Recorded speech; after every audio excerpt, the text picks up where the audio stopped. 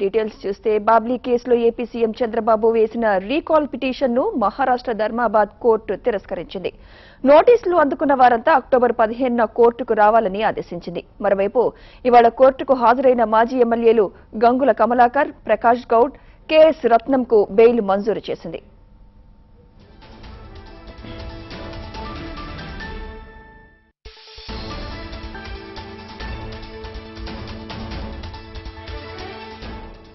Babli case ఇప్పటిది కాదు. రెండు వేల పదిలో బాబ్లీ ప్రాజెక్టులో ఉత్తర తెలంగాణ ఎడారి అవుతుందని చంద్రబాబుతో పాటు మరికొందరు టీడీపీ నేతలు ఆందోళన చేశారు. అయితే విధుల్లో ఉన్న పోలీసులను అడ్డుకున్నారని వన్ ఫార్టీ ఫోర్ సెక్షన్ను ఉల్లంఘించారని చంద్రబాబు సహా పదహారు మందికి ఎనిమిదేళ్ళ తర్వాత వారెంట్లు జారీ అయ్యాయి.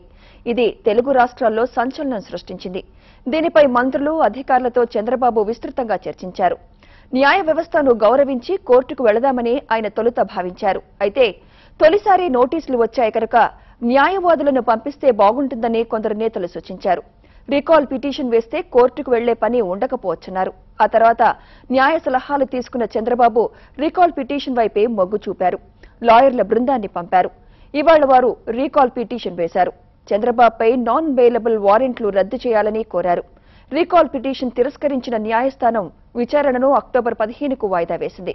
ఆ రోజున నోటీసులు అందుకున్న వారంతా కోర్టుకు రావాలని ఆదేశించింది.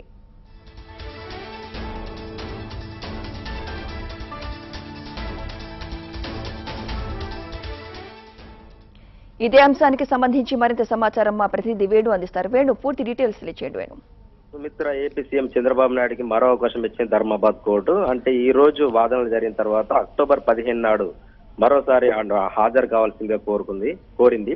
మొత్తంగా ఈ రోజు ముగ్గురు మంది మాత్రమే పదహారు మందిలో నుంచి ముగ్గురు మాత్రమే హాజరు కాగా వాళ్ళకి వాళ్ళ ముగ్గురికి కూడా బెయిల్ మంజూరు చేయడం జరిగింది. అయితే హాజరు కాని పదమూడు మందిని ఏదైతే అక్టోబర్ పదిహేను నాడు మళ్ళీ హాజరు కావాలని చెప్పేసి అవకాశం ఇచ్చింది. అయితే హాజరు కాని వారి పదమూడు మందికి మాత్రం ఐదు వేలు జరిమానా కూడా ధర్మాబాద్ కోర్టు విధించింది. అయితే ఈ రోజు జరిగిన వాదనల ప్రకారం ఎవరైతే చంద్రబాబు నాయుడుకు సంబంధించిన లాయర్లు సుబ్బారావు రవీందర్ ఇద్దరు హాజరై రీకాల్ పిటిషన్ వేస్తే రీకాల్ పిటిషన్ను ధర్మాబాద్ కోర్టు తిరస్కరించడం జరిగింది. ఇది తమ పరిధిలో లేని అంశమని ఖచ్చితంగా ఎవరైతే నాన్ బెయిలబుల్ వారెంట్ జారీ అయిన వాళ్ళు ఉన్నారో వాళ్ళు కోర్టు నోటీసులు అందుకున్న వాళ్ళందరూ కూడా హాజరు కావాల్సిందే కాబట్టి హాజరు కాని వారికి మాత్రము బెయిల్ మంజూరు చేసే అవకాశం లేదు. ఖచ్చితంగా కోర్టుకు హాజరు కావాలని మరోసారి స్పష్ట- స్పష్టం చేసింది. అయితే ఈరోజు ఆ, ఏదైతే ముగ్గురు మాజీ ఎమ్మెల్యేలు గంగుల కమలాకర్ కేఎస్ రత్నం ప్రకాష్ గౌడ్ ముగ్గురికి మాత్రం బెయిల్ మంజూరు చేసింది. వీరు ముగ్గురు హాజరు కావడం జరిగింది. అయితే చంద్రబాబు నాయుడుతో సహా మరో పదమూడు మంది మాత్రం అక్టోబర్ పదిహేను అంటే ఈ కేసుని మళ్ళీ అక్టోబర్ పదిహేనుకు వాయిదా వేయడం జరిగింది. కోర్టు అక్టోబర్ పదిహేను నాడు ఖచ్చితంగా పదమూడు మంది హాజరు కావాలి. లేకుంటే మళ్ళీ ఆ పరిస్థితులు ఎలా ఉంటాయంటే నాన్ బెయిలబుల్ వారెంట్ అనేది ఖచ్చితంగా అమలయ్యే అవకాశం అయితే కనిపిస్తోంది. ఇక అయితే దీనికి సంబంధించి చంద్రబాబు నాయుడుకు చెందిన లాయర్లు ఏమంటున్నారంటే మేము ఇప్పటికైతే కోర్టులో విన్న డిసిషన్స్ ప్రకారం వెళ్ళి అక్కడికి వెళ్ళి న్యాయ సలహాలు తీసుకుంటాం. ఏం చేయాలంటే ఖచ్చితంగా చంద్రబాబు నాయుడు పదిహేను నాడు హాజరు కావాలా? వద్దా? ఏమైనా ఇంకేమైనా అవకాశాలు ఉన్నాయా? అనే విషయాన్ని మాత్రం మేము పరిశీలించిన తర్వాతనే డిసిషన్ తీసుకుంటామని చెప్తున్నారు Sumitra. Right thank you Venu Telugu Desam party ప్రధాన కార్యాలయం ఇన్స్ట్రక్షన్స్ మేరకు ఈరోజు కోర్టు ముందు హాజరు కావడం జరిగింది. కోర్టు వారిని నాలుగు వారాల సమయం అడగడం జరిగింది.